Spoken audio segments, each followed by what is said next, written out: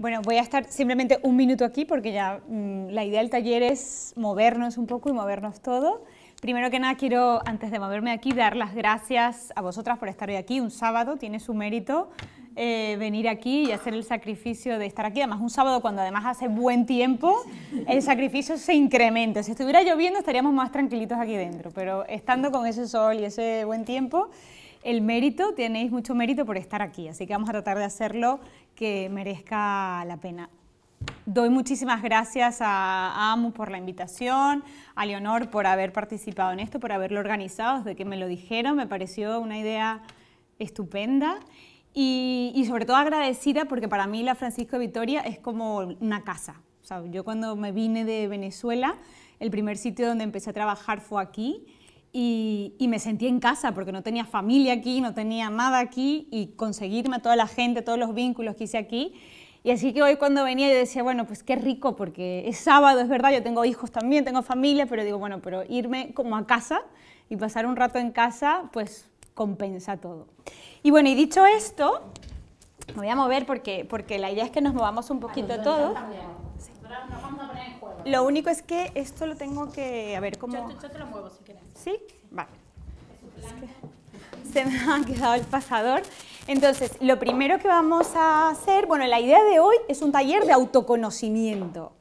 No sé a qué os suena autoconocimiento, la palabra es así como muy grande. Mueve un poquito, mueve la siguiente, perdón, atrás.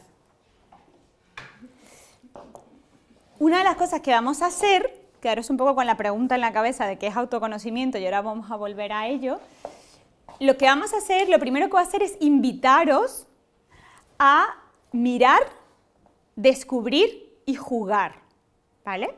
Esto de jugar suena así como, ya yo soy mayor, ¿no? me vas a poner a jugar otra vez. Eh, para el autoconocimiento, todas las cosas que vamos a hacer en este espacio que vamos a estar juntas, esta hora y 45, creo, eh, a ver, una de mis debilidades grandes es el control del tiempo. Cuando me meto en algo y lo estoy disfrutando, se me hace muy difícil eh, ajustar los tiempos. Lo voy a intentar, para que no nos vayamos todos muy tarde. Pero cualquier cosa, levantar la mano si se me van, amo. Em, todas las cosas que vamos a hacer en este espacio ayudan y contribuyen al autoconocimiento, ese concepto que vamos a ir construyendo un poco entre todas, ¿vale? Em, mirar, lo primero mirar. Ahora cuando, cuando llegué, lo estaban diciendo por aquí Alicia y Leonor, mirar y mirar más allá de lo que se ve en lo superficial son puntos importantes, el mirar, mirarnos a nosotros y mirar lo que nos rodea, más allá de lo que parece evidente. ¿Esto qué quiere decir? Que en el día a día nosotros vamos un poco atómicos, ¿no? A veces vamos de aquí para allá y no nos detenemos a veces a, oye, a realmente querer ir más allá, ese mirar que intenta descubrir, ese mirarnos a nosotros mismos también y ese mirar lo que nos rodea, ¿no? O sea, pareciera que estoy con una persona, bueno, pero ¿cómo está realmente esa persona? ¿Me he dado cuenta de algo más? ¿O simplemente estoy hablando con ella y ya, pues lo que me diga, lo superficial? El mirar es muy importante. El descubrir, pues eso, el, querer, el querer estar en disposición de ver qué pasa, de ver qué pasa ahí, qué me están diciendo, cómo estoy yo ahora mismo, descubrir. Y jugar es una invitación un poco a salir de la zona de confort. Seguro que esto de la zona de confort lo habréis o se está escuchando ahora mucho en términos de creatividad, pero es verdad, o sea, a veces nosotros tendemos a ir siempre por el mismo camino a los sitios, llámese este, este lugar, este es mi mejor camino para ir a casa, porque tengo que cambiar. Si yo tengo este hábito, lo hago todos los días, ¿por qué lo tengo que hacer diferente? ¿no? Pero el jugar implica el querer movernos un poco, el salir eso de la zona de confort bueno, y nos ayuda también a descubrir y a ver otras alternativas, que es positivo para nosotros y para nuestra relación con los otros. Una de las cosas, y esto es un pequeño ejemplo, no puedo evitar en la, en la Fundación Botín yo trabajo en un programa que se llama Educación Responsable y es un programa que lo que busca es potenciar el desarrollo emocional, social y de la creatividad en los más pequeños, desde los 3 años hasta los 16. Y en ese programa muchas de las cosas que se hacen van también en esta dirección, desde que los más pequeños vayan identificando cómo soy, cómo son, quiénes son, quiénes son los que están alrededor. Esto es un telar que hicieron hace un tiempo donde está formado en un recurso donde trabajamos con las artes, en, este, en estas telas, hay trozos de tela, como veis, son trocitos de tela que cada uno de los, de los niños, esto eran de primaria, trajeron antes de trabajar, que les voy a hacer el cuento corto, antes de trabajar con un artista contemporáneo con que iban a trabajar, que trabajaba con trozos de telas textiles. Y este artista era un artista tan complicado que lo primero que se hace en este trabajo, en el recurso, es que cada niño trajera un trozo de tela de algo que fuera significativo para ellos, ¿no? que tuviera un valor. Esos trozos de tela que están ahí, seguro que si nosotros vemos cualquiera de ellos, por ejemplo esto, ¿qué veis aquí? Un trozo de tela amarillo. ¿Y os recuerda algo? No. ¿Cómo? ¿Un trapo? Justo, es una valleta. Es una valleta que trajo el niño a, clase y cuando lo mostraba, los niños se quedaban así, ¿qué es eso? Y él contó que en esa valleta la traía, esa valleta amarilla, que para él era importante porque un día en su casa encontró un pajarito que estaba en el parking y entonces él lo fue y lo rescató con ese trozo de tela amarillo. Y ese trozo de tela amarillo se llevó a su pajarito a la casa y el pajarito ha dormido mucho ahí y para él ese trozo de tela era importante, ¿no? Para nosotros sería solo un trozo de tela amarillo, pero ese niño en ese momento hizo que todos los que estaban alrededor conectaran con lo que para él estaba significando ese trozo de tela, esa valleta amarilla. Hay de todo, hay aquí una camiseta del Real Madrid, hay también otra camiseta de un niño que su primo había fallecido y cogió ese trozo de tela, otros que hablaban de su cumpleaños, que le habían dado un gran regalo y la traía. Hay una mezcla de emociones ahí y cada uno de esos trozos de tela decían algo de ellos y contaban una historia de ellos.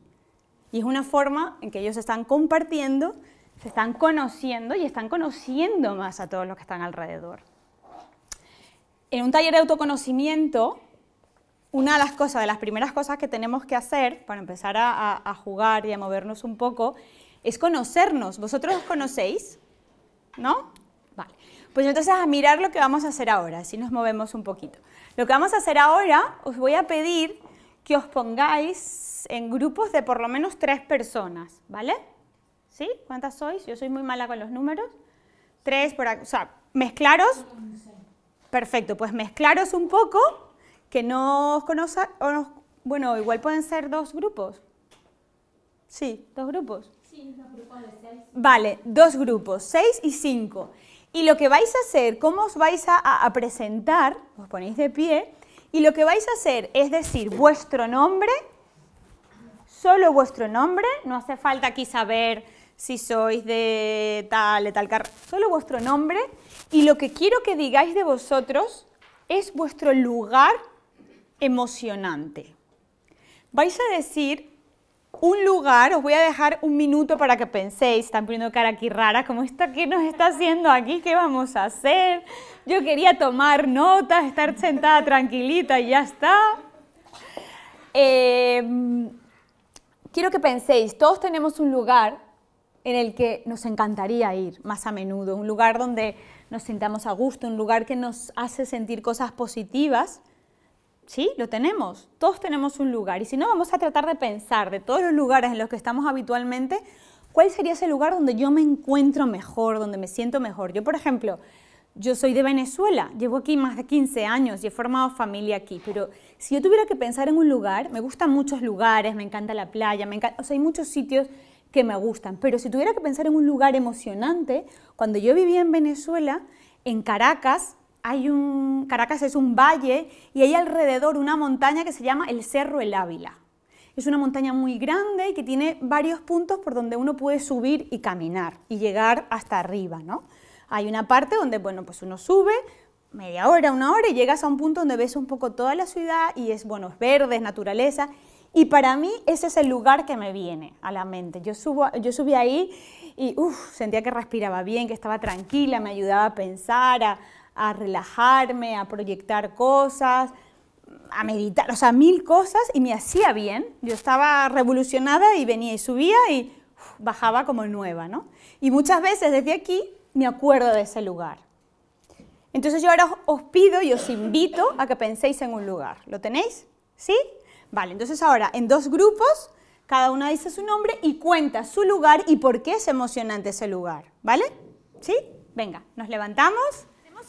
Pues sí, yo, si yo voy a un sitio y digo, bueno, pues yo soy, soy de Madrid, o soy de Venezuela, o soy de Jaén, o soy de, de Córdoba, de Santander, estudio psicología y ya. ¿Puedo sacar qué me transmite la persona?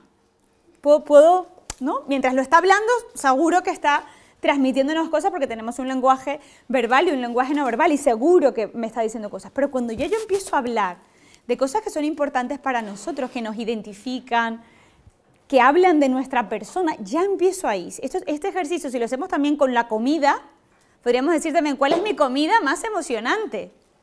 Yo quizás podría decir, oye, me, encanta la pasta, pero me encanta la pasta porque mi madre es italiana y porque en la pasta, que mm, bueno, pues conecto con cosas que para mí son familiares, que me conectan, ¿no? Con otro, con otro lado. Y es verdad que nos ayuda, es un pequeño ejercicio muy sencillo que nos ayuda a mirar hacia adentro, porque no es fácil ese ejercicio de mirar, y tratar de decir, bueno, de todo esto, ¿qué me gusta a mí? ¿Con qué lugar elijo? ¿Y por qué lo elijo? Y seguro que este lugar que estamos eligiendo hoy, quizás dentro de dos años sea otro. Y no pasa nada. Quizás en dos años haya otro sitio con el que yo me identifico más. Y siempre va a decir algo de nosotros. Cuando estoy con los ojos de querer descubrir todo esto, también dice mucho cuando vamos a nuestro sitio de trabajo, porque estamos intentando, nos relacionamos entre personas, estamos con personas y ese, querer descubrir también qué hay ahí detrás me va ayudando a mí a construir, también entender, no sé si cómo os habéis sentido con los adjetivos o con las palabras que otros os han dado, pero es una forma también de decir, algo de esto estoy transmitiendo yo. Porque también yo tengo una idea de mí mismo y a veces puede ser que la esté transmitiendo y otras veces no, que quizás no está llegando como yo quisiera que llegara. Y eso también es información para mí. ¿Qué es el autoconocimiento? ¿Qué creo yo que es el autoconocimiento? Eh, a mí una de las cosas que, que, antes de estar en la fundación, tengo una amiga que tiene una escuela infantil y en varias oportunidades he ido a dar talleres de padre, de poner límites de los niños, de tal, de inteligencia emocional también para los niños, del refuerzo positivo, de muchas cosas. Y yo tengo dos niños pequeños. Y muchas de las cosas que he dicho me he visto en algún momento diciéndole al pequeño, venga, no llores, o desesperándome, o diciendo, que, queriendo, bueno, pues hace una pataleta, y yo, o sea, todas esas cosas que no se deberían hacer, más de una vez me he visto haciéndolas. Tengo que salir corriendo, tal, pues no me puedo quedar con el niño en la pataleta, venga, vamos a esperar unos minutos, vamos a relajar. Digo, no, no, no, venga, tengo que salir ya. Entonces, Peor porque me estoy dando cuenta que estoy haciendo lo que no debería estar haciendo, pero que no me puedo, no, la cena, pues te dicen, oye, no le pongas ni vídeo, ni televisión, ni nada, que coma porque tiene que comer. Pues el mío, el más pequeño, es muy delgado, no le gusta comer, y yo digo, mira, pues lo siento, aquí me veo yo con poco yo y que coma, sabiendo que no lo tengo que hacer. Y quizás eso que dice mí, oye, pues hay situaciones donde no tengo toda la paciencia que yo pensé que podía tener, pues quizás no la tengo. Y este, nueva, este espacio de ser madre me ayuda a mí darme cuenta que hay otras habilidades que quizás no tengo y que debería fomentar. ¿Las etiquetas se quedan por ahí? Sí. ¿Qué es el autoconocimiento? Tiene que ver un poco con esto. ¿Qué vemos ahí? ¿Qué vemos ahí? Diferentes puertas. ¿Y qué pasa? ¿Qué más? ¿Qué os transmite? Son todas puertas diferentes. Son todas puertas diferentes que quizás pues hay algunas con las que nosotros creemos que entraría, o sea, que me gustaría entrar, ¿no? Quizás esta amarilla me llama la atención, me gusta el color amarillo y digo, oye, pues me gustaría tocar esa puerta primero, ¿no? Pero puede ser que a Adriana, a mi tocaya Adriana, pues le guste más la que está el señor allá afuera. Porque se imagina que igual dentro hay como un barcito donde uno puede tomar algo en mí con amigos, ¿no? Esas puertas, o sea, podríamos ser cada uno de nosotros. Y en el autoconocimiento es esa invitación a yo efectivamente conocerme a mí mismo. Pero el concepto, la teoría en sí es muy fácil. Lo de pues, conocerme a mí mismo. Pero ese conocerme a mí mismo no es tan fácil como nos imaginamos. Y efectivamente es un continuo. Un continuo que nos acompaña desde muy pequeños hasta que seamos muy, muy mayores. Es un continuo de querer mirar también a nosotros y descubrirnos y tener un poco esa mirada de decir, oye, pues ir identificando qué cosas me identifican, qué cosas son mías, cuáles son mis fortalezas, cuáles son mis debilidades, que quizás en cada momento van variando. Hay cosas que voy superando y hay cosas otra vez que me vuelven a quedar pendiente. Y vuelvo con un... es un continuo. Si yo soy consciente de ello, me va a ayudar a ir trabajándolo constantemente.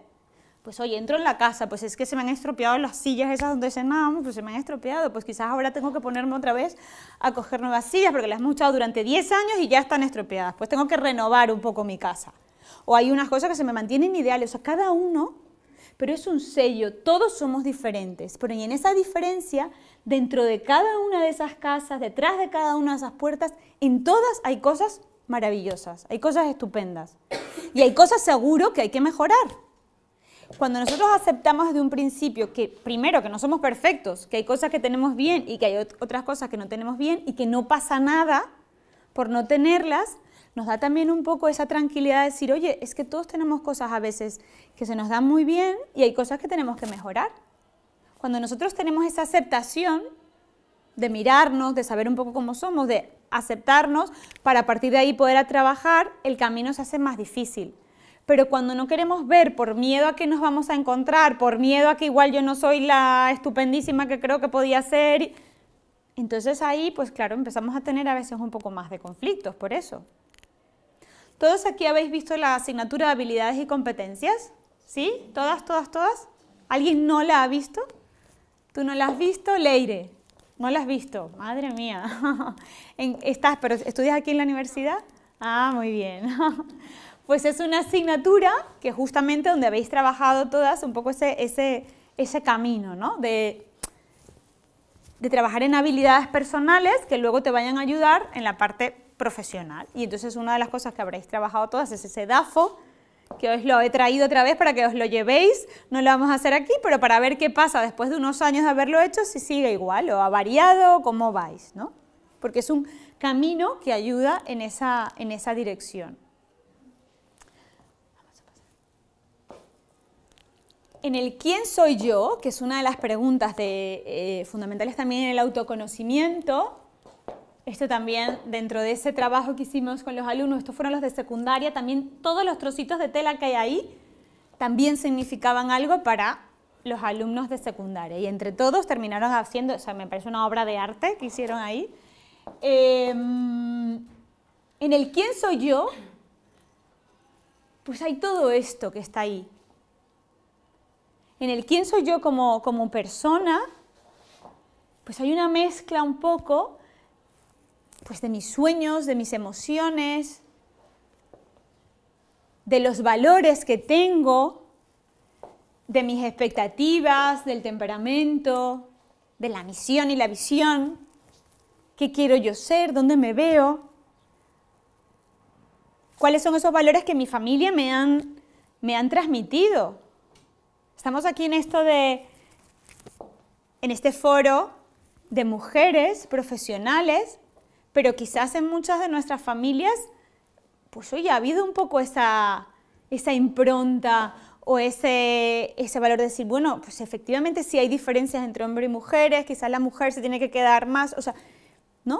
A cada uno igual nos han transmitido cosas que son importantes y que es importante identificarlo para que luego no entre en conflicto con diferencias que puedo tener yo. Todo esto que tengo dice algo de mí.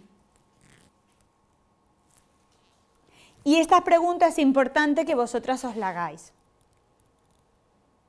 El realmente un poco, ¿qué me planteo yo? ¿Qué me gustaría conseguir? Esto nadie lo puede hacer por otra persona. Reyes no lo puede hacer por Adriana. Y Adriana no lo puede hacer por Reyes pero hay que meterse y hay que ver realmente la lupa por dentro.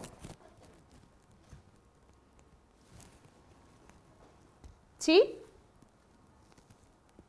Quizás yo me quiero lanzar a una carrera, me encantaría trabajar en audiovisuales, me gustaría hacer eventos y me gustaría hacer relaciones públicas. Y resulta que yo, pues es que soy súper tímida y me cuesta la relación con las personas y me cuesta, pero eso me encantaría y estoy ahí. ¿Eso quiere decir que no lo pueda conseguir? Quiere decir que, oye, pues yo tengo esto, lo bueno es que yo lo puedo entrenar. Y puedo, pero tengo que tenerlo identificado. Esas preguntas son importantes. Vamos a seguir, que ahora vamos a hacer un pequeño ejercicio. Esto, que sé que todos lo habéis hecho, de hecho es el mismo formato, yo os he traído el mismo formato, tengo amigas y compañeras que siguen aquí, Patricia Castaño, que de hecho va a venir con vosotros el próximo sábado, creo que 25 es, ¿no? El sábado 25, y hay cosas que van a empezar aquí, que luego ya va a continuar. Esto lo habéis hecho. Y sé que igual lo habéis hecho, no es lo mismo cuando uno lo hace entre una asignatura, que tengo que hacerlo porque si no lo hago, pues imagínate. Yo os invitaría, os lo voy a dejar porque os invitaría a que lo volváis a hacer en un espacio tranquilo, sabiendo que no lo tenéis que entregar a nadie, solo a vosotras mismas, y dentro de esa, dentro de esa indicación que intentéis identificar nuevamente debilidades y fortalezas. No tienen que entrar todas en este cuadro, de hecho podéis hacer más. Y de hecho a medida que vayáis haciendo más, seguro que van saliendo. Lo primero que nos va a salir siempre es lo superficial. Oye, que soy orgullosa, que no llego a tiempo, que a veces soy un poco impuntual, que... Y luego pues que soy buena, que soy amigo de mis amigos, que... Pero luego cuando empiezo a ir más allá, y quizás cuando me hago un ejercicio de... En estas próximas dos semanas o tres semanas, en el próximo mes, tratar de ir rellenando eso todo lo que yo pueda con las ganas de irme en este próximo mes realmente descubriendo y buscando más cosas. Oye, pues estoy en el súper, he ido a ayudar a mi madre a hacer la compra y me doy cuenta que, pues que no sé, que estaban hablando ahí dos personas que estaban discutiendo y a mí me sale como una furia y tengo unas ganas de entrar yo también y defender. Y eso quizás, esa situación en la que yo no estoy habitualmente, pues me está ayudando a descubrir otro lado de mí que yo no lo tenía muy identificado. Pues venga, me lo voy a apuntar ahí también amenazas y oportunidades. ¿Y esto con qué idea? Con la idea de yo pensar también qué quiero yo ser y dónde me gustaría verme. Y en eso donde a mí me gustaría verme, qué características creo que son importantes tener y cuáles tengo yo. Y cuáles entonces tendría que trabajar o entrenar.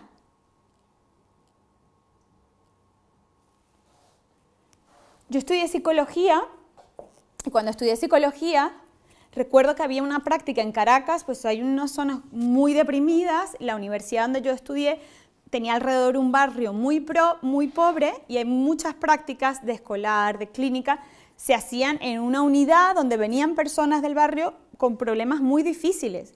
Y yo recuerdo una vez que me tocó, estaban asignando pacientes y me tocaba, eh, y el profesor que estaba repartiendo un poco quién le iba a tocar cada cosa, empieza a hablar del caso de un niño de tres años que sus padres le habían quemado totalmente las manos, totalmente las manos porque el niño, perdón, tenía un poquito más, cuatro años, pero es que ya los niños de cuatro años ya son como si fueran, no pasaba de cinco años, y el niño había ido a comprar el periódico y no había traído la vuelta. O sea, es como que si costaba dos euros, pues tendría que haber traído uno y no lo trajo. Se compró unas chuches. Y el no haber traído ese euro fue suficiente para que le quemaran todas las manos. El profesor lo iba contando yo estaba, me entraba una indignación. Yo estaba pensando que me iba a tocar atender al niño. Y yo, bueno, venga, yo tal, estábamos todos ahí y me dice, no, no, Adriana, a ti no te toca al niño. Te toca la madre que le ha quemado las manos al niño. Y claro, y en ese momento, bueno, que no puedo, que yo no voy a poder, que cómo la voy a atender, que yo no puedo atender a esa mujer, que lo único que me provoca es pegarle yo a ella, eh, que tu paciente es la madre, no el niño. Y tienes que ver cómo haces tú para ayudar a la madre. Son situaciones que a mí no se me habían presentado y lo, y lo comparto aquí porque, claro,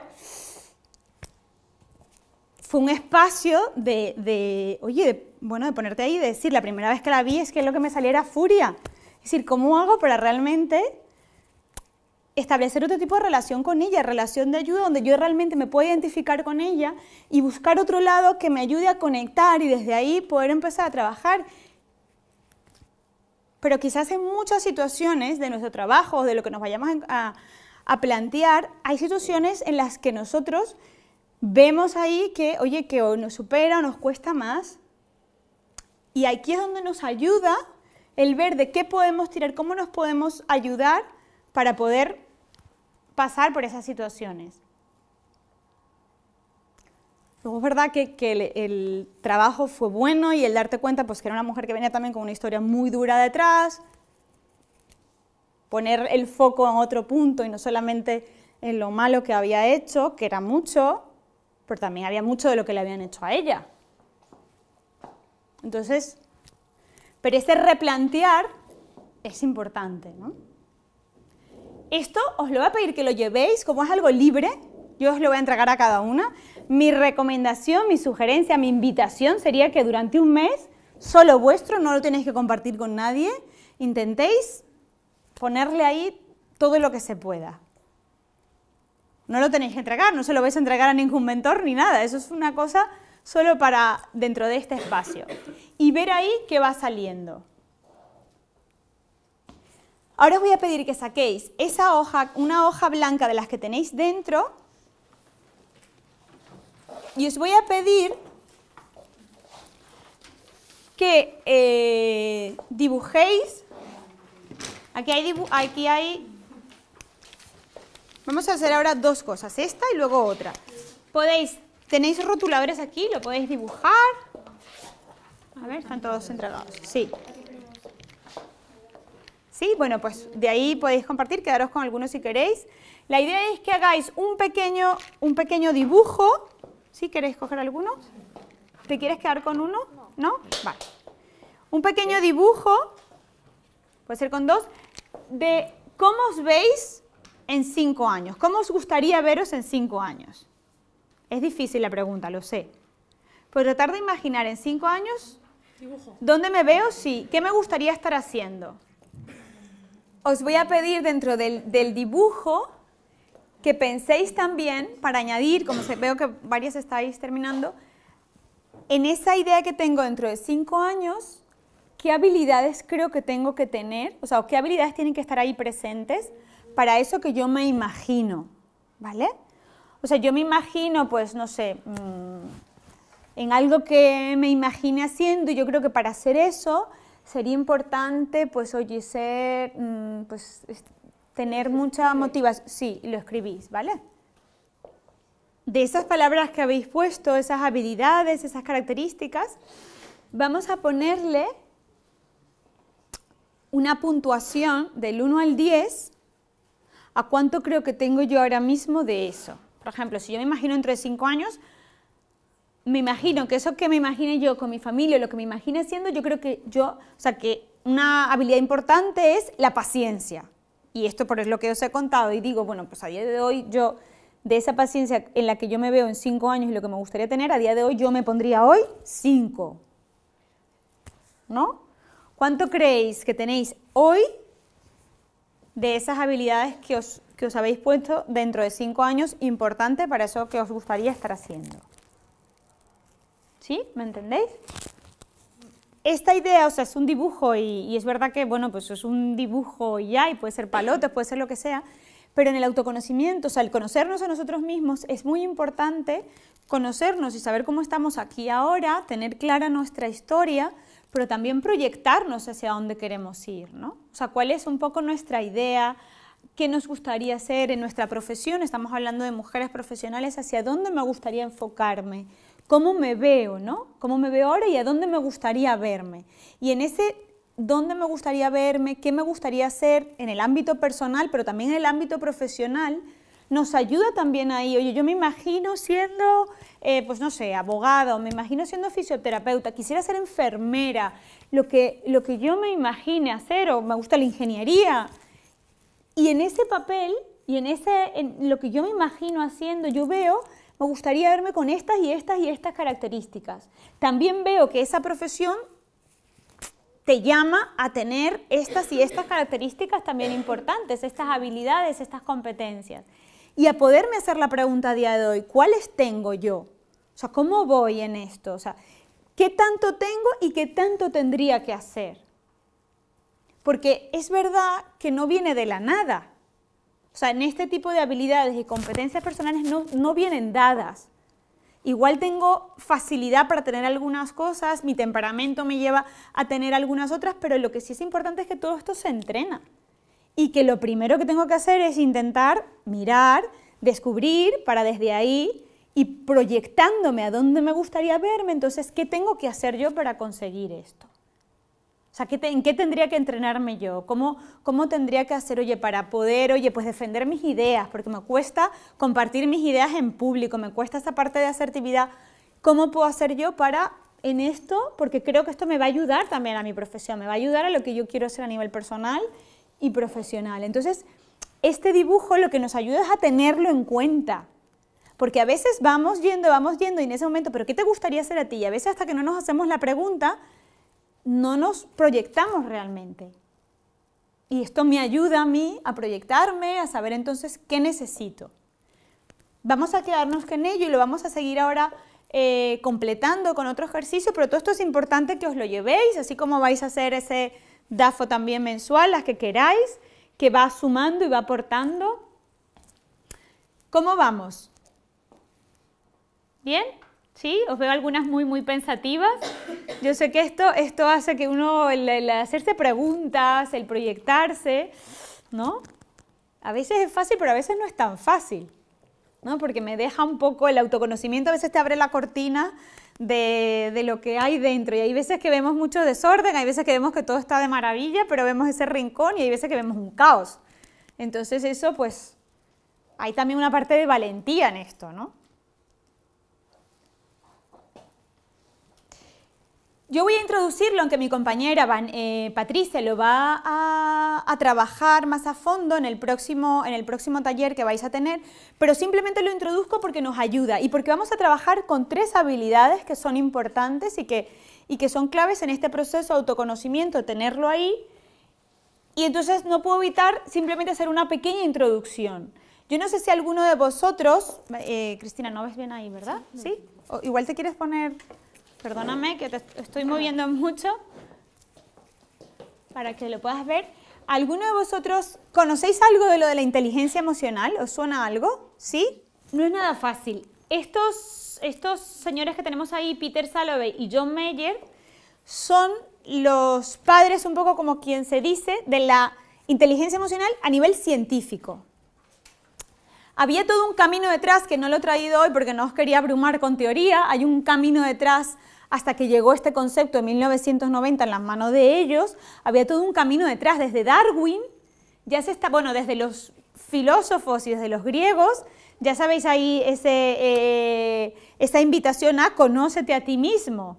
Desde los filósofos, que seguro que muchos habéis visto algo, ya se estaba haciendo ese planteamiento de mirarnos, de conocernos, pero en todo lo que es la rama de la psicología, ya Darwin, que hablaba de las especies, de la evolución, él ya decía, oye, las emociones son importantes para la supervivencia y ya otro psicólogo sorda y hablaba también de la inteligencia social. O sea, ya se estaba cocinando algo de que era importante, de que había algo más allá del coeficiente intelectual. Estos señores que están aquí, en ese momento el coeficiente intelectual se parecía que era lo más importante y que una persona si tenía un coeficiente intelectual muy alto, por tanto tenía que conseguir todo lo que se propusiera, éxito en la vida, éxito a nivel laboral.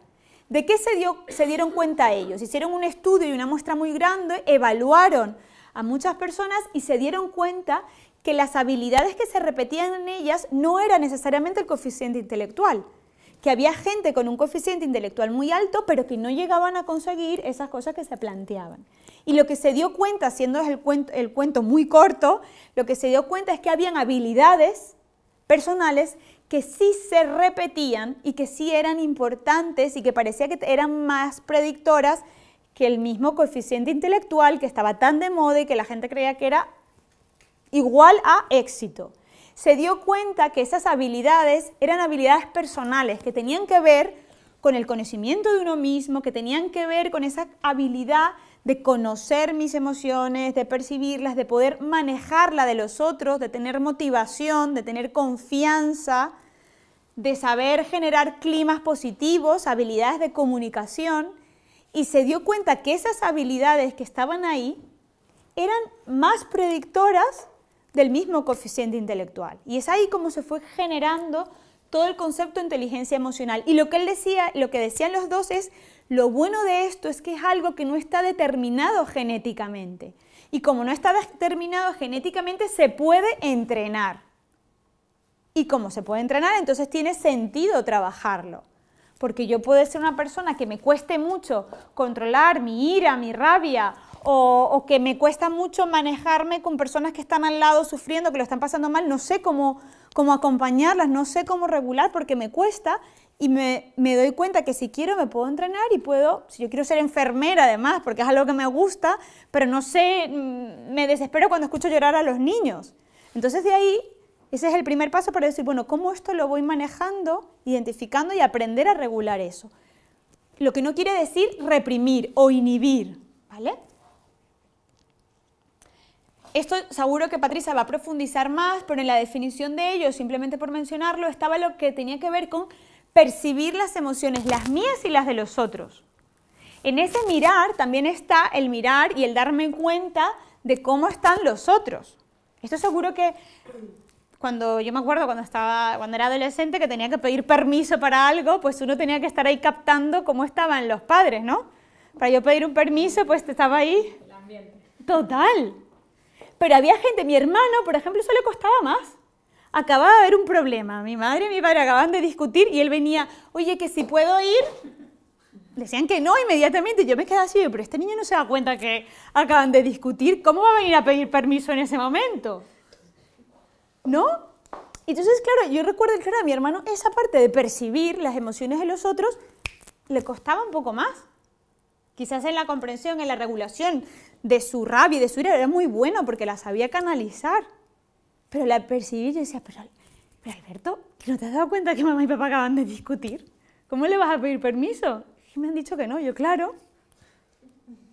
Tendrás que buscar otro momento. O sea, esto en muchas cosas, pero es percibir, es asimilar. Asimilar es darme cuenta qué sentimientos me influyen a mí también. ¿Qué sentimientos, o sea, qué emociones, cómo me influyen, cómo eso me influye en lo que vaya a hacer, en la actividad que vaya a hacer para de ahí comprenderme, comprenderme a mí, comprender un poco lo que está pasando y eso me ayuda a canalizarlo. Pero yo no lo puedo ignorar porque forma parte de mí. Pues somos personas, porque estamos totalmente integrados, porque mis pensamientos, mis emociones están juntas con la experiencia, con todo lo que voy viviendo, ¿no? Y esto me ayuda a regularlo la semana que viene, eh, perdón, en un mes trabajaréis un poco esto más a fondo. Ahora nos vamos a detener con tres cosas que son importantes en este camino del autoconocimiento también. Una primera cosa es la autoestima. Estoy seguro que autoestima, ¿no? Habéis oído hablar mucho de autoestima. Vamos a ver la autoestima, vamos a ver la expresión emocional y la empatía, como habilidades que son muy importantes dentro de nosotros mismos y en nuestro conocimiento saber cómo estamos ahí qué tanto, cómo, cómo estoy yo conmigo misma, esa confianza que tengo en mí, en lo que yo creo que soy, en lo que me gustaría ser. Y ahora os voy a pedir otro dibujo más, ¿vale? Os voy a pedir en otra hoja, esta si queréis la podéis guardar, otra hoja de las blancas que tenéis ahí. Luego vais a ir aquí, le vais a decir a María, oye, pero esto era un taller de dibujo a ver, entonces vais a hacer un árbol en las raíces. María, no, no quieres. ¿No? Hay unos que, que se borran y todo. O sea, que puedes hacer y borran de verdad. ¿No? No, no, no. Vale. Eh, en las raíces vais a poner... Esto no, no, tenéis, por favor, que hacer este árbol, ¿vale? O sea, es un árbol vuestro, el que vosotros queráis. En las raíces, mira, de hecho aquí ni siquiera se ven raíces. En las raíces vais a poner vuestras cualidades positivas. ¿vale? Las que creáis que tenéis, ¿vale? Cualidades positivas, raíces. En las ramas, las cosas positivas que vosotros hagáis a día de hoy. Cosas positivas que hagáis. Oye, pues yo estoy haciendo esto, esto de hacer. Cosas que hagáis a día de hoy que son positivas. Y frutos, vais a poner algunos frutos en el árbol y esos frutos van a ser vuestros logros. triunfos que hayáis tenido, cosas que para vosotros sean logros y triunfos, ¿vale? Que, no que seguro que todos tenemos, no tiene que ser haber ganado una medalla de tal cosa, o sea, para vosotros logros que habéis conseguido y triunfos, ¿vale? Y ese va a ser vuestro árbol. Seguro que hay muchas cosas que se podrían poner, pero ahora os voy a, a dar unos minutos muy breves, tres minutos, uno y medio para uno, uno y medio para otro, y lo que quiero que hagáis en muy poco tiempo, bueno, es compartir con vuestra persona que tengáis al lado, os vais a compartir el árbol, ¿vale? Cada una lo va a compartir a la otra, un poco compartir lo que es su árbol y, y, bueno, con cada una de estas características, ¿sí? Lo ideal es que sean personas que no os conozcáis. Yo creo que aquí Loreto, ¿sí? Bien. ¿Nos da para todos? Dos, hay dos, dos. ¿Sí? ¿Alguien se queda? Ah, muy bien. Bien. Dos minutos, tres minutos, ¿vale? Una y una. Compartir muy brevemente el árbol que cada una tiene. ¿Alguien ha puesto más cosas ahí? En las ramas. Para darle ideas también a... Que a veces pensamos en esto, va desde cosas muy pequeñitas. Oye, pues es que yo pues recojo mi habitación y, ¿no? Pareciera que eso es una tontería y que está... Pero desde esas cosas tan pequeñas son pequeños logros, porque lo fácil sería salir corriendo y dejarlo como está. Entonces, hasta hacer mi habitación, hasta ordenar mis camisas, eso es un, es un plus, que luego para cualquier sitio, para cualquier trabajo va a valer, el que yo lleve un poco ese orden. Y a veces en estas cosas nos pasa que tendemos un poco a menospreciar o a pensar que si no son grandes cosas, es que no, no tendría que ponerlo ahí. ¿Alguien quiere dar algún ejemplo más de las ramas? Increíble, ¿no? Esto, esto es un ejemplo muy bueno. Katia, es un ejemplo muy bueno porque a veces pensamos que, oye, que no, tenemos tiempo, que no hemos tenido tiempo de tal. Y, a veces, y parece mentira que cuando estamos más llenos de cosas, eso también a veces me pasa a mí. en ese momento cuando tengo más tiempo, que digo, va a ser imposible, y justo ahí pareciera que es donde mejor te organizas. O sea, que tienes muy claro, tengo que hacer esto, esto y esto, y no puedo dejar de hacerlo. Y entonces ahí es donde la planificación del tiempo parece que, que, sí o sí tuviera que salir porque no tenemos otra opción. Vamos a avanzar, ahora vamos a, vamos a ir a algunas cosas simplemente de, la autoestima, para que podamos ver autoestima, expresión emocional e empatía. Eh, la autoestima tiene que ver mucho con esa confianza que nosotros tenemos de nosotros mismos. Y, en la autoestima se forma, se forma a través de... Vamos avanzando. La formamos... Avanzamos ahí. No. Hay unos que van en cámara lenta. Se aprende, se cambia y la podemos mejorar. O sea, ¿cómo valoro yo quién soy, mis habilidades, mis recursos, mis potencialidades? Se construye a través de lo que pensamos nosotros, pero también tiene que ver mucho nuestra experiencia con los demás. Aquí nuestra familia tiene su granito de arena muy importante, ¿no? A veces esos mensajes que me han transmitido, lo que me han dicho y cómo eso también los amigos lo enriquecen, los entornos donde yo estoy. Hay veces que yo tengo idea de algo, pero quizás a mi alrededor me han transmitido tanto que no soy capaz de eso, que a veces cuesta romper eso. Y también a favor, ¿no? El que yo anime, en esto hay veces los padres cuando los niños son pequeños, pues venga, que tienes que jugar fútbol, y es fútbol y es fútbol. Oye, pues es que si al niño no le gusta el fútbol o justamente no tiene coordinación, no todos tenemos que tener una buena coordinación. Y a él se le da mejor pintar, pues qué mejor que él pinte, porque va a ser la forma de poder expresar potencialidades que él tiene. Y en eso nosotros también tenemos que buscar cuáles son nuestras potencialidades, cuáles son esas cosas que yo tengo que son, oye, mm, mis fortalezas y tratar de darle salidas a ellas. Todos tenemos fortalezas, todos tenemos cosas positivas y lo bueno aquí en esto es poder darle salida y no quedarnos nosotros solos. Porque además ahí es donde nosotros nos vamos a sentir mejor, nos vamos a sentir más motivados. Cuando estoy haciendo algo que me gusta, que además yo siento que tengo habilidades para ello, pues no os podéis imaginar la potencia a nivel de autoestima que esto significa y de confianza para vosotros, de motivación y cómo esto os puede impulsar. impulsar. Tiene que ver un poco mi yo real y mi yo ideal.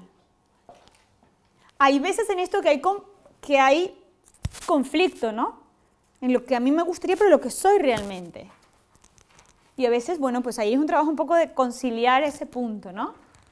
o qué cosas tengo que, mover para, para poder alcanzar un poco esto. La congruencia, el que haya congruencia ahí me ayuda. Vamos a avanzar. Todo esto contribuye muchísimo. Cuando yo tengo, estoy trabajando en mi autoestima, me siento confiado, me favorece la creatividad, las relaciones sociales, me siento con más confianza para opinar, para compartir cosas, para compartir mis ideas. Cuando yo me siento tranquilo y seguro con mí mismo. Todo esto se trabaja, ¿vale? Y pues esto, son un poco todo lo que me ayuda. Me ayuda a tolerar frustración.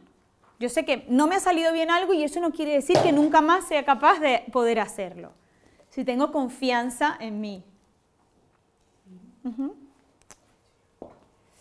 Esto es importante y viene un poco con el ejemplo que, habíamos, que les había dado del, fútbol, ¿no? Todos somos genios, pero si juzgas a un pez por su habilidad de trepar árboles, vivirá toda su vida pensando que es un inútil.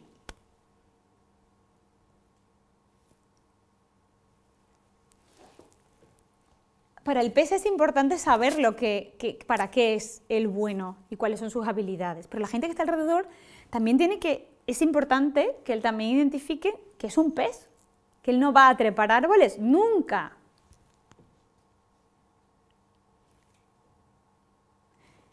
O sea, ahí está mucho la esencia de, de, de lo que es la autoestima y también la autoestima para alrededor. También para las personas con las que yo estoy, que a veces nos esforzamos porque, sí, yo quiero que cambie, yo quiero que cambie, yo quiero que cambie.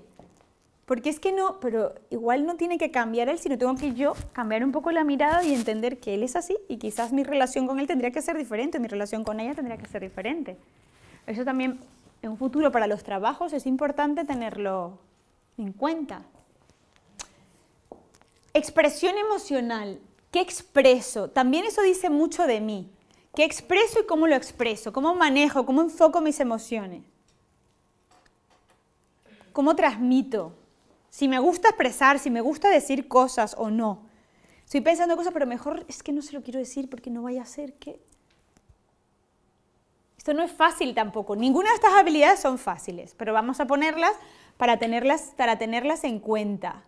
La conciencia emocional, vamos a avanzar esta, es un poco entender lo que habíamos hablado antes de inteligencia emocional, cómo estoy, qué causan las cosas, qué consecuencias tiene. Quiero que veáis aquí un cuadrante. Vamos a avanzar. Vamos a avanzar al siguiente.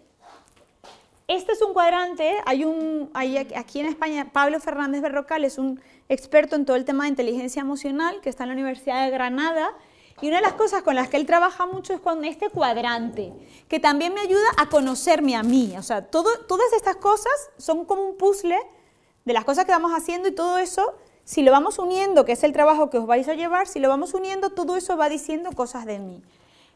Aquí está el nivel de energía en la mañana. A ver, ¿quiénes sois en la mañana enérgicas? ¿Quiénes os despertáis con energía en la mañana? ¿Y quiénes estáis más bien con energía en la noche? Aquí tenemos un grupo más de noctámbulos que de, de búhos, que de... Vale, esto es importante tenerlo en cuenta, ¿por qué? Porque él dice, mira, durante el día el nivel de energía puede ser alto y puede ser alto a nivel desagradable, puede estar yo con una energía alta y tener, y mis sentimientos ser desagradables. Estoy con energía, pero estoy enfadado me despierto enfadado, estoy molesto. O puedo levantarme con mucha energía y estar pues con un sentimiento agradable, entusiasmo. Venga, estoy que me como el mundo hoy. O sea, me levanto y tengo cosas, ganas de hacer muchas cosas. Yo sé que si tengo que hacer algo, tiene que ser en la mañana, que es donde tengo más energía. A medida que va pasando el día y vamos llegando a la noche, yo me empiezo a quedar por aquí o por aquí, dependiendo del cansancio que esté. Entonces, es importante también tener esto en cuenta primero de cómo es mi estado de ánimo la mayor parte del día, en qué momentos del día tengo más energía y si esa energía es positiva o es más bien energía de enfado, de molestia, y qué cosas me ayudan a mí a cambiar eso. Si estoy en este cuadrante o si estoy aquí, ¿cómo puedo hacer para llegar aquí o por lo menos estar aquí y sentirme bien? Identificar qué cosas me hacen bien. Oye, igual estoy enfadadísima y lo que mejor me viene antes de explotar con alguien que no tenga que explotar es salir a caminar un rato. O llamar a una amiga, hablar con una amiga un poco, compartirlo. La idea no es reprimir, sino canalizar lo que yo lo pueda compartir y de qué manera lo puedo compartir. Y es importante ver dónde nos ubicamos ahí, en qué, lugar nos ubicamos. El expresar, si os dais cuenta, hay personas que tienen esa capacidad de, oye, de expresar más fácil, ¿no? De que yo además en ese lenguaje verbal y no verbal, que seguro al que va a entrar Patricia cuando estéis con ella, eh, pues ese lenguaje verbal y no verbal a veces no es tan fácil. Hay gente que parece que, bueno, que se te hace más difícil descubrir por su expresión cómo está. Y quizás a veces nosotros mismos se nos hace difícil, ¿no? El, expresar. ¿Cuántas veces os ha pasado que alguien viene y dice, Mm, oye, Adriana, ¿qué, ¿qué te pasa? ¿Estás bien? Sí, estoy fenomenal. No me pasa nada. ¿Pero seguro no te pasa nada? No, no me pasa nada. Estoy bien. ¿Estoy bien realmente? No. Pues estoy diciendo que estoy bien. Entonces a veces no hay congruencia en eso. ¿Qué sería mejor ahí? El decir, mira, pues efectivamente no estoy bien, pero no quiero hablar tampoco. Porque ese estoy bien, que a veces decimos, enfadados, pues a veces decimos eso estoy bien, pero porque en realidad, mira, ni quiero hablar, ni quiero entrar en el tema, pero estoy diciendo que estoy bien.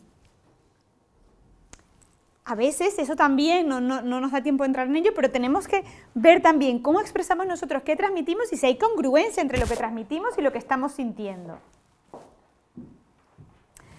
Vamos a entrar rápidamente en empatía y con esto vamos a terminar, porque es una habilidad muy importante que también es importante ver cómo estamos nosotros en ese autoconocimiento, en ese repaso por todas estas habilidades y en el pensar hacia dónde queremos ir, cómo estamos ahora, en ese dafo que os lleváis, en ese árbol que os lleváis, hay una habilidad fundamental y que, es, y que justo os lo estaban diciendo aquí cuando Leonor y Alicia, cuando estaban hablando, que es esa capacidad un poco de poder, hay habilidades que son transversales para todo el mundo y que en eso quizás las mujeres podéis tener un poco más de tendencia y más facilidad. Y es importante poder explotarlo y hay habilidades que en cualquier sitio donde estéis os va a permitir conectar mejor con todas las personas y generar un clima positivo también alrededor. Y la empatía, que sabéis lo que es la empatía, ¿qué es? conectar con el otro. Seguro que aquí no sabemos todo de memoria, ponernos en el zapato del otro, eh, mm, tal, lo que el otro, pero en realidad, para mí, incluso trabajando en esto, me parece la habilidad más difícil. Junto con la escucha activa, la empatía es, no os podéis imaginar lo difícil que es. Y aquí es importante ver en qué momento estamos nosotros y cuán empáticos somos, porque a veces pasamos por distintos espacios, vamos a avanzar. La empatía, aquí hay un video, esa capacidad efectivamente de poder yo comprender al otro, de poder conectar con el otro, pero no supone compartir las ideas del otro, ni estar de acuerdo con el otro. Vamos a ver este vídeo muy rápido. Ahí, ah, en la pantalla. Un caso práctico. Em, imaginaros por un momento, imaginaros por un momento, muy rápido, imaginaros por un momento que estáis en un trabajo, es el día en el que vosotros lleváis un año eh, preparando un proyecto que vais a presentar, que os interesa presentar, lo habéis hecho en equipo y lo vais a presentar una de vosotras con otro compañero. Imaginaros que vais a presentar vosotros el proyecto con Juan. Y Juan, viene ese último día, es el momento de presentar, queda ya media hora. Y Juan es además, tenía una parte importante de este proyecto donde lo explicaba fenomenal y donde lo hacía muy bien, lo a hacer entre los dos. Y llega Juan y os dice, em, Loreto, María, Lucía, Leire, Ana, oye, mm, estoy fatal. Estoy fatal porque pues, he tenido una discusión con mi novia, mi novia me ha dicho que me deja, me encuentro fatal, me encuentro fatal. Eh, no puedo presentar esto. Hemos tenido una discusión muy grande, estoy hecho polvo y no me siento que pueda hablar. ¿Qué le decís a Juan? Entiendo que estés hecho polvo. Bien, vamos a ver una cosa. La empatía es una de las cosas más difíciles, avanzamos, que con esto vamos a cerrar. Lo que nos sale de manera habitual, y yo me pongo ahí también, y yo me pongo ahí también, porque es una habilidad muy complicada, lo que nos sale de manera habitual, cuando alguien nos comparte con nosotros un problema, nos sale juicio. Mira, es que de verdad, es que esta mujer, es que está, nos, es que, claro, o la juzgamos, mira, mira, con eso que ha hecho ya te demuestra que no era para estar contigo. Interpretativa. O sea, tendemos a interpretar lo que les está pasando a los otros. Mira, yo creo que ella, en realidad, lo que le está pasando, no es eso que, o sea, igual ni siquiera tiene otro. Pero todo esto es para que tú seas entonces con ella, ¿no? ¿Cuántas veces nos ha pasado? Yo con mis amigas, bueno, construíamos y destruíamos el mundo. No te está llamando porque lo que quiere es que tú seas consuelo, apoyo o consuelo. Pues eso. Bueno, no pasa nada, no pasa nada, ya verás, o sea, mm, vamos además, esta, tarde nos vamos a ir al cine, lo vas a pasar fenomenal, te voy a presentar unas amigas mías que son estupendas. Yo, yo estoy seguro, investigación, hacer preguntas. A ver, cuéntame más, ¿qué ha pasado? Pero a ver, ¿cómo te lo ha dicho exactamente? ¿Qué te ha pasado de verdad? es que yo he pasado por todas, todas. Yo esto cuando lo veo digo, qué tristeza. O sea, tipo de solución del problema. Vamos a ver, mm, vamos a ver cómo lo hacemos eh, y buscamos inmediatamente solucionar el problema. Mira, esta misma tarde, venga, yo ahora voy a presentar una parte, pero ya hoy nos ponemos a ello, vamos a salir a comer, este, yo hago esta parte, pero lo que estoy es solucionando el problema. Ninguna de estas respuestas son empáticas. Ninguna. Estas respuestas pueden venir después, pero ninguna son empáticas.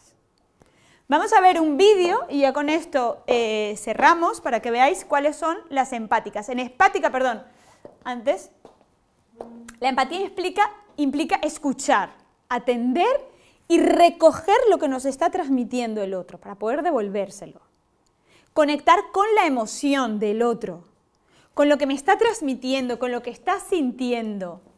Vamos a ver este vídeo que es lo que mejor lo, eh, seguimos este. Y con esto ponemos este vídeo y hacemos el cierre. Mirar aquí que eso es empatía. La empatía Fijaros cuando viene la madre, venga tal, pero vamos, tenemos que seguir. No estoy conectando con él. Que está bien que luego hay que seguir, pero la primera parte, todas esas que dijimos ahí no empáticas, seguro vienen después. O sea, no pasa nada que yo después intente, porque en realidad la intención de todas esas son buenas. Es querer ayudar a la persona, es querer sacar a la persona del sufrimiento, es querer, venga, vamos, ¿no? que eso está bien, pero el primer paso es yo de alguna manera poder conectar con cómo está esa persona en ese momento. La madre no conecta con él y la hermana, que es la que está más interesada en salir corriendo e irse a su concurso, pues ya está, ella se siente y dice, mira, pues ya está, aquí estoy contigo, pues... Y esa posibilidad de ella sentarse y conectar con él es lo que le hace a él luego conectar con ella también darse cuenta que para ella también es importante esto y tiene sentido seguir.